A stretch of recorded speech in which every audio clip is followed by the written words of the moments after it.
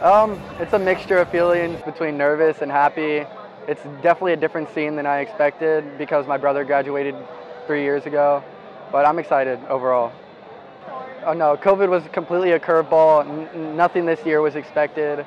Um, it, it started to loosen up a little bit later in the year, but everything was pretty mellowed out this year because of COVID. Um, I, I, I plan to attend a four-year university at the University of Central Florida and study business management and double minor in accounting and computer science.